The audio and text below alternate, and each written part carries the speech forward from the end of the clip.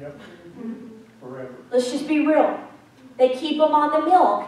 And if you try to do anything outside of their rules and boundaries, oh my gosh, you know, you're of the devil. And uh, so I determined, and me and Mike determined, and because how we were raised immediately in the Lord, we weren't raised in a system that did that, is that you guys can go and learn and do and make mistakes, and we'll deal with things as they come up. But we don't want to create rules and boundaries to dictate behavior. And I don't remember, God was reminding me of something uh, a while back. Uh, and I think it was at worship practice, Gigi, we were talking about it, and I couldn't remember what had happened, but I wanted to put in place, now I called it a policy. And so, and I can't remember what it was. Me and Mike had talked about it, so if any of y'all remember, anyway, so I was going to put a policy in place. So this is what Kent does. He immediately gets a face. And he goes, that's just a rule. Like, that's not cool. Are we going to let Holy Spirit lead us or not? No. Yeah, you're right. And so I did not put that in place. But have you ever done that, you know, where you want to create this to, to protect yourself and sometimes we say to protect others? Okay? So, let's look at the demonic. Let's pull back the veil on what was really going on here. Uh, chapter 3, verse 1.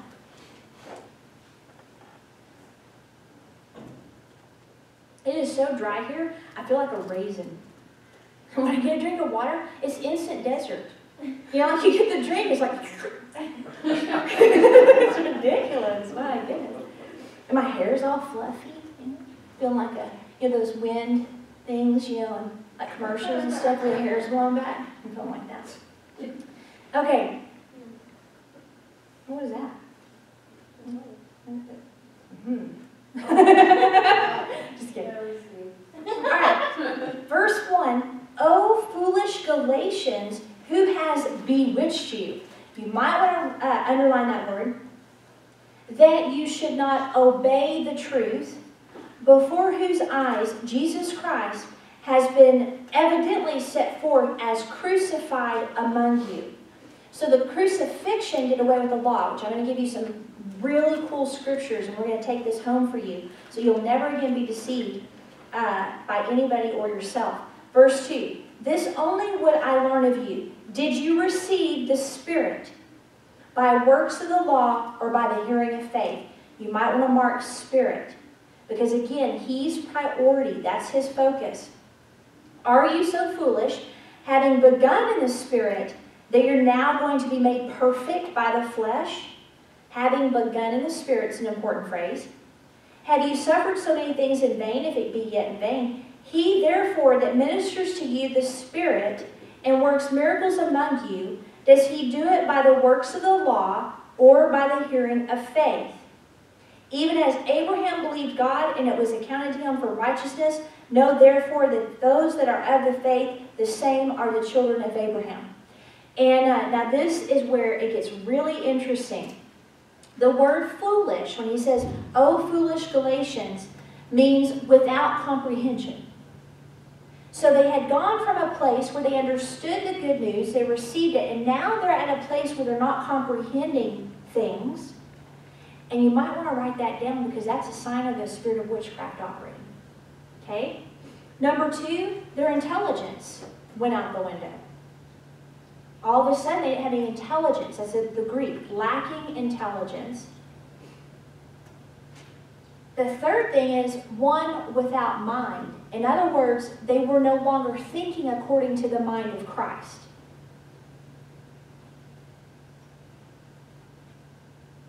It also refers to the mind, will, and emotions, or the soul lacking comprehension. so the spirit of witchcraft comes on the soul. Okay? It can't take over your spirit, man. Holy Spirit's there. So it comes on your soul and it finds things in your soul to attach to that make you vulnerable to it. For example, If you don't feel that you're performing well enough for God, that spirit of witchcraft will come in there. Uh, if you've done uh, something wrong and you don't understand how the blood is enough and you're still carrying guilt, it'll come in and attach itself to that. So, any insufficiency that you feel in your character or your walk with God will make you vulnerable to the spirit of witchcraft when you hear it being preached through people that appear to be righteous. So, you have to be completely and utterly confident in the power of God working in your life, or you will be susceptible to it. So, what happened and this is where it really got to Paul, is remember Paul's doctrine was this the mystery which has been hidden from you know for ages is Christ in you, the hope of glory or the expectation of glory. So Paul's gospel was God now lives in man through the Holy Spirit, and here's proof. And then he would do miracles to prove that what he was teaching was true. Okay? So when you begin to believe the false doctrine and you're seduced, it's like a snake. You know, like the snake charmers, the way they can do that is by the movement of the, the instrument, not the sound. And so whenever you are seduced by the Spirit, all of a sudden the indwelling of the Holy Spirit is no longer priority and you're literally cut off from the grace of His work on the inside of you. So the enemy knows if he can get you in the law, he will cut you off from the power of Holy Spirit. Therefore, your inner man is no longer being changed to manifest outwardly. Instead, you become a sour faced, critical, judgmental person that looks down on everybody that doesn't uh, observe the dietary laws and go to the ridiculous. There are, guys, there are Christians, I could give you names that are waiting for the restoration of sacrificing lambs again. And guess what? I'm going to be bold. Those people that believe that you still have to do that are on their way to hell. If they don't get a revelation and turn back to the Lord and those that are teaching it might already be in the accursed place. It is one thing to teach it, it's another to fall for it. Okay? Christians, people that call themselves Christians and believe in the cross. And some of y'all know because uh, they were part of a church we went to. The church didn't preach that. But. All right, so the doctrine of the indwelling of God's Spirit brings about change. But we tend to gravitate toward the knowledge of good and evil.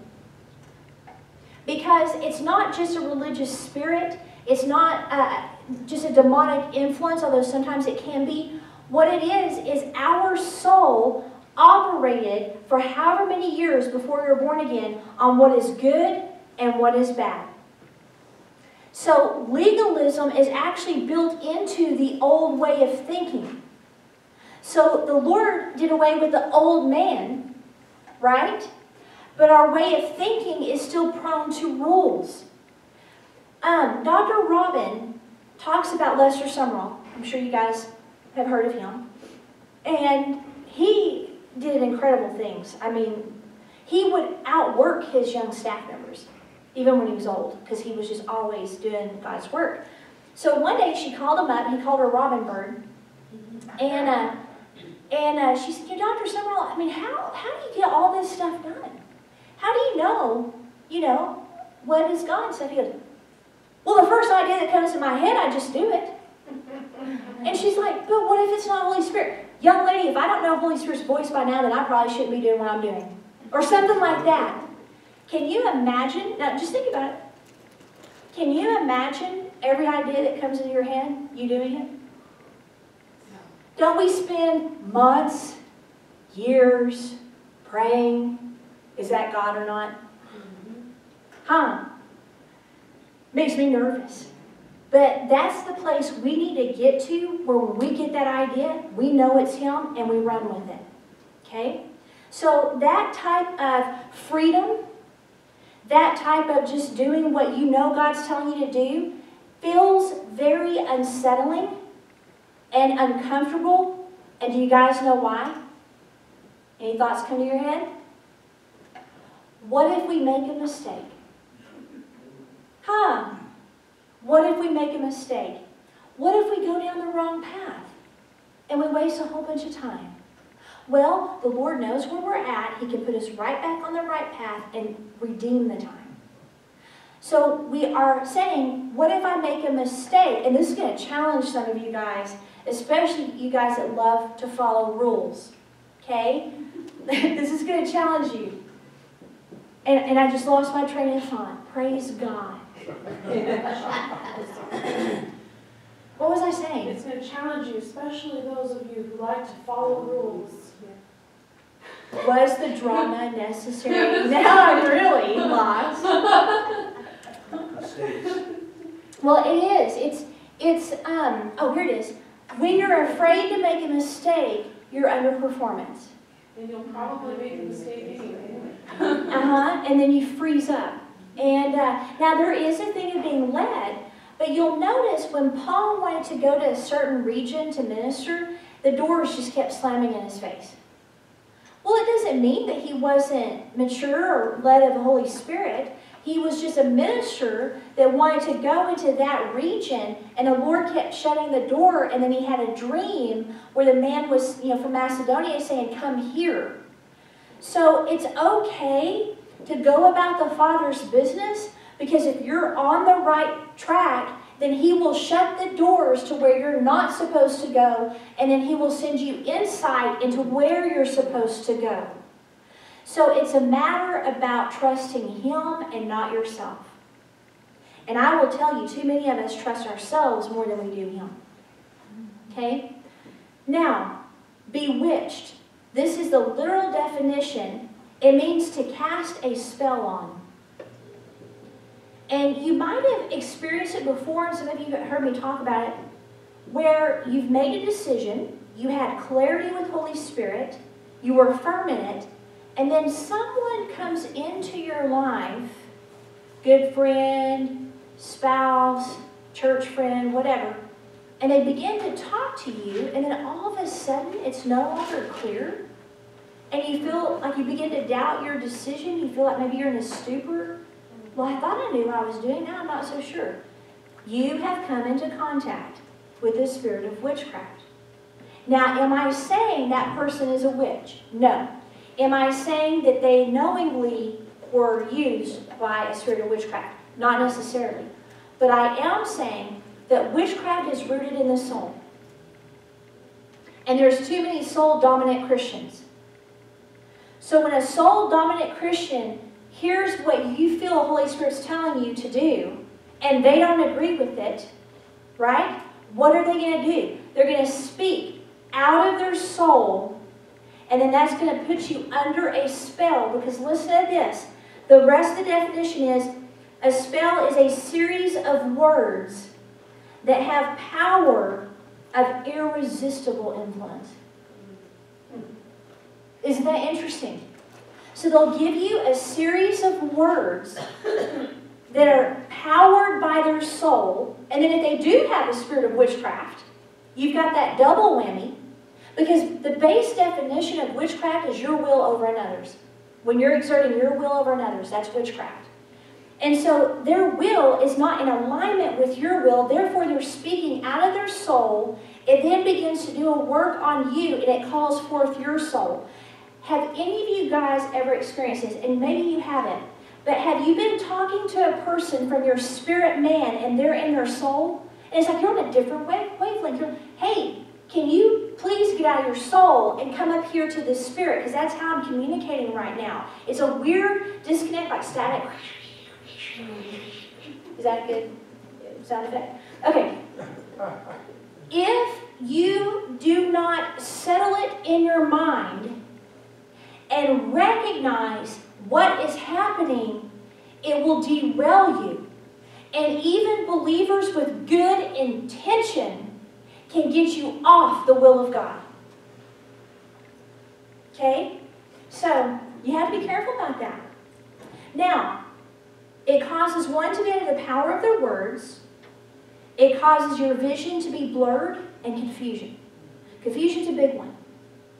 And it seduces you away from the truth. So what was happening with the, these uh, uh, the, the Judaizers, when they were speaking these words, they were appealing to the soul that liked rules. Instead of speaking from the Spirit, saying the only thing you need is Holy Ghost. You got Him, you're golden. Okay? So it appealed to their flesh. And look at what Paul said again in verse 1. Who has, who has bewitched you that you should not obey the truth? Now, this is where it gets interesting. They either could obey the truth or go into works of the flesh. But Paul held them accountable. He said, I presented to you the good news with proof. And instead of you clinging to that, you are now choosing a different gospel. That is on you. You should have clung to the truth. And when they came and told you that stuff, you should have said, you know, that doesn't sound like what Paul taught us. Okay? And more often than not, people that do this will actually go after the minister that is over you by saying, well, they probably just don't know this, or you know, uh, they'll find someone that maybe has offense with them, okay, and they'll start bad mouthing. So you see that happen with Paul, where these false uh, apostles were coming into the Corinthian church and they were speaking bad about Paul. And Paul says, I shudder to have to do this, but I'm going to have to give you my qualifications. You know what I mean? Like he had to defend his apostleship because they were bringing in false doctrine. So, offense in a congregation, that's why we work so hard to have unity, you know, and deal with things. And it doesn't always happen perfectly, but you know what? How many of you guys have ever been in a fight with a sibling or a family member, right? You know, it's like we're so afraid of conflict, especially U.S. personalities. We're so afraid of conflict that sometimes we don't deal with things, but we have really got to deal with stuff. And if you're mad, hold off. You know, don't call them up and, you know, say, I need to talk about this. Jerk. You know, you don't want to do stuff like that. Sometimes if I get really mad, I have to like pray for a good two or three weeks to just settle, process, let go, because I know me and I know that I will, you know, attack or I'll be passive aggressive and do mind games and start playing around with them like a, you know, a cat with a mouse, and it just ends up really bad. So he held them accountable. He said a couple things. There was a demonic power that was seducing them. And he says that legalism is a work of the flesh. So that's why I was telling you guys, it's built into the old way of thinking. And these churches were without excuse because they knew the truth. Now listen to the Wuest translation of verses 3 through 5. He says, having begun by means of the Spirit, now you're being brought to spiritual maturity by the flesh. So many things did you suffer in vain, if indeed they were really in vain. Therefore, the one who is, now get this, and you might want to write this next to um, uh, verse 5 where it says, ministers to you the Spirit. This is what it literally means in the Greek. The one who is constantly supplying you the Spirit in abundance. So it's like he turns on the faucet of Holy Spirit and it never goes off. It's a constant supply of the Spirit. That's the original language. And constantly working miracles among you. Constant. Every day should be an adventure full of miracles. And I don't mean just healings. Like, you know, where you know God is like doing some crazy stuff and you're just along for the ride. Okay? So constantly supplying the Spirit is what it means minister to you the Spirit and constantly working miracles. By means of the law, is he doing these things? Or by means of the message which proclaims faith? That's going to be important to get back to in a second. The one, look at this. The one who is constantly supplying the Spirit to you in bountiful measure and constantly working miracles among you. The overflow and visible activity of Holy Spirit should be evident every day of your life. Now, I'm still reading the scripture in the Greek. So the working of the Holy Spirit should be visible every day of your life. I'm not talking a miracle a minute, but I'm talking walking in the zone, the flow of the Holy Spirit, your purpose and call is supernatural. Okay? Now, going back, he says, who is constantly supplying the Spirit to you in bountiful me- message, did he do it by means of the law or by the message? Wait a minute, what are you talking about, Paul? The message? What, what's going on here? Here is what he's saying. He says that the supply of the Spirit and the constant working of miracles is by means of the message that proclaims faith. In other words, to have a constant supply of Holy Spirit in your life and to have a constant supply of miracles in your life, it will only come by the preaching and teaching that inspires faith. That's how it's that that's the vehicle. That's how that constant supply happens. So you can see why the enemy is all about messaging. Okay? So he's a message in your head telling you you're jacked. It's a message through other people telling you you're jacked. It's people telling you you have to follow rules in order to please God. Like he's very good at messaging and he's very good at branding. And he'll make you think that what people are speaking to you is truth. But if it does not inspire faith, and if it does not keep a constant supply of Holy Spirit in your life and miracles, then you might be under the wrong messaging. So, can you think of recent situations where you were believing a lie? And when you think back to when you were believing a lie, were you connected to the constant running of the water of the Holy Spirit, or did you feel like it got down to drip, drip? How did you do that? You do that drip sound? you used to do a drip sound when you was a kid, and mom and dad, you were in the kitchen, and you were in bed, right? And Mike was doing this drip sound, like the faucet. I'm digressing, but it's worth it. And uh, and so they jump up to try to see where the leak was, you know, the, the, and it's driving them nuts. And they check on Mike to make sure he wasn't doing it. And He's all asleep. and they go back in the kitchen. He did it again. Did it again. anyway, think, you know, when you feel, this is key. When you feel the supply of the Holy Spirit and the miracle, evident, visible activity in your life daily is beginning to turn into a trickle, you need to look at the message you're believing. That right there can change your life. You've got to know what lie you're believing because that's cutting off the supply. Okay? So, what you hear preached from the pulpit is so important.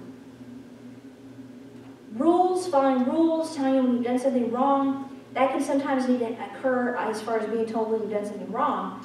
But it's not my job to tell you what you're doing wrong. And it's not my job to tell you what you're not. My job is to get you to believe what you already are.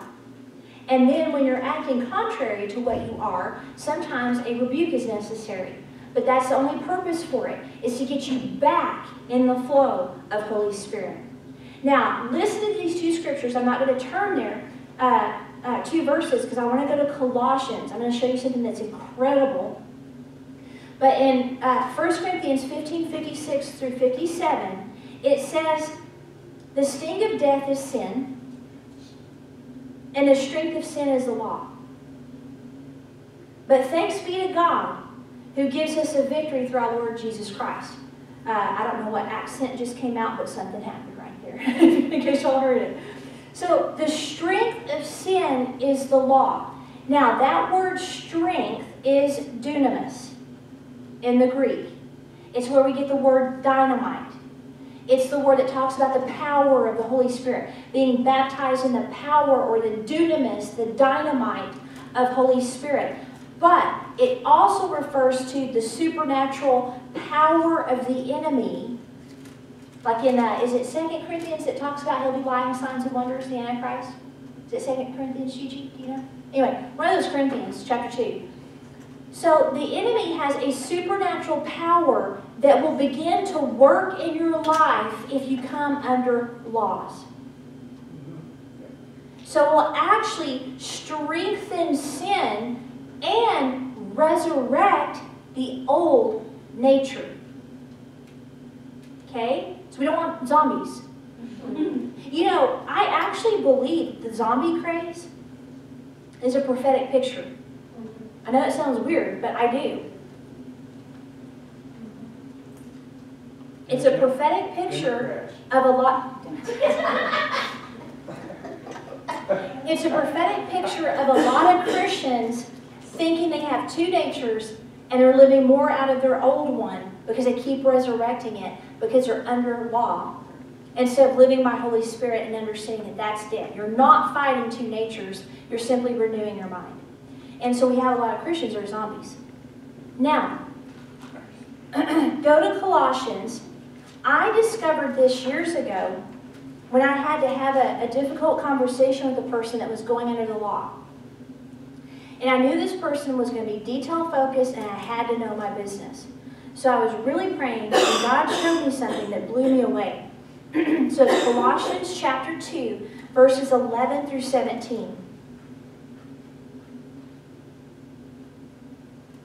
In whom also you were circumcised with a circumcision made without hands, in putting off the body of the sins of the flesh by the circumcision of Christ, buried with him in baptism, wherefore you were also risen with him through faith of the operation or energy of God, which has raised him from the dead. So what he's saying is the same energy that raised Jesus from the dead, the nuclear bomb energy that exploded in that tomb, is the same energy working on the inside of you today. And you being dead in your sins and the uncircumcision of your flesh, he has quickened together with him because he forgave us our trespasses. Now here is key.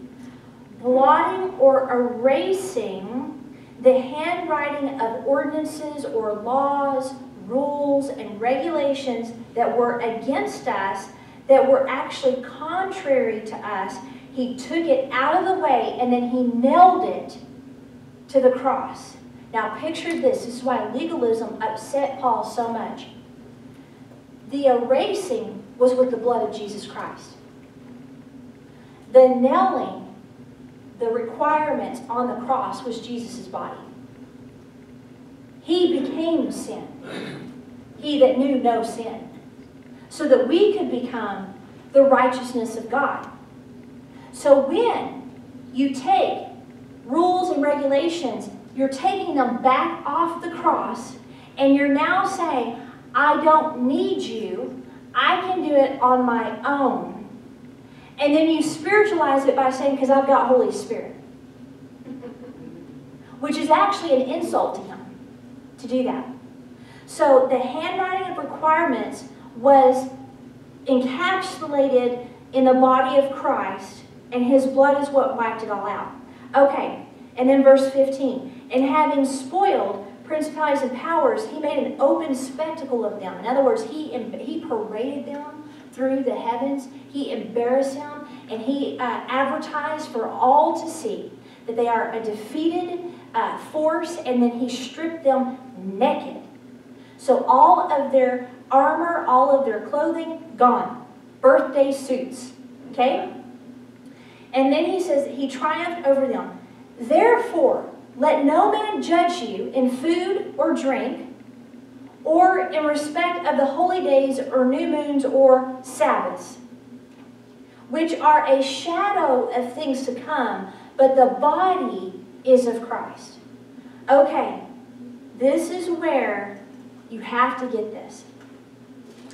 When he nailed the handwriting of requirements to the law, he stripped the enemy and all of his force from the power they had over us through the law. So the supernatural power that strengthened sin, the law that strengthened sin, the Lord took upon himself and he cut that off from us. Therefore, we are no longer under their control. That's why Paul would later say, you're no longer, you know, ruled by sin or any of that. You're now ruled by God. And here is the other part of it. If you start following rules and regulations and laws, you are actually re-empowering demonic forces that know how to come in and exactly what to hit you with to get you back into sin. You know what I mean? So we don't want to empower the devil against us. We got to fight him enough as it is. And we don't want to give him an opening to us. That's why it is imperative that we believe that what Jesus Christ did was completely done.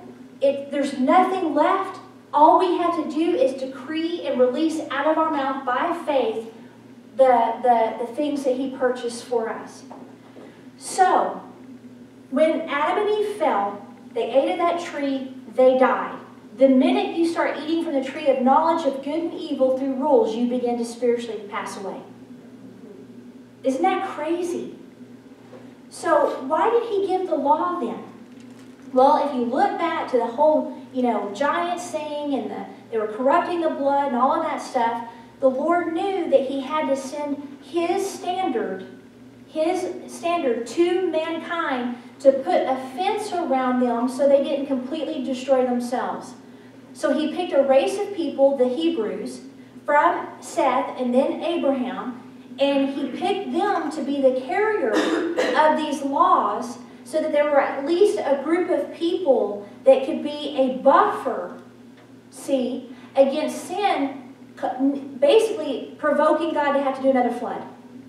You know, he promised, I'm not going to do a flood again. So what he did is he sent the law.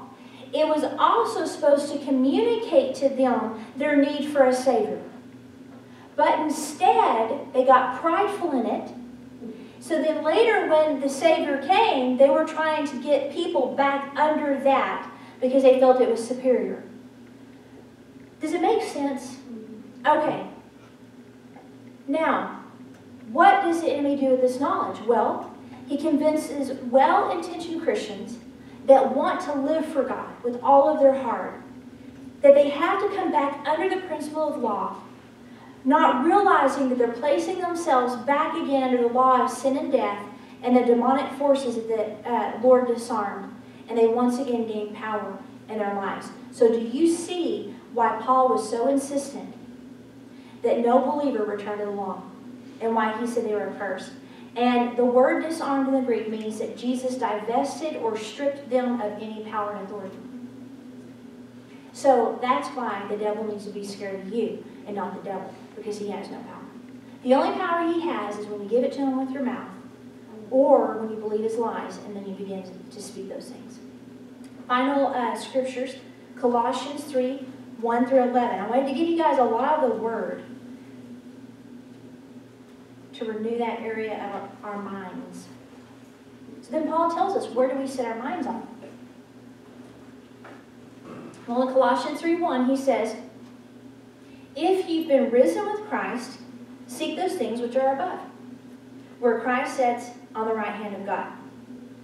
Set your affection on things above and, on, and not on things on the earth, for you were dead, and or you are dead, and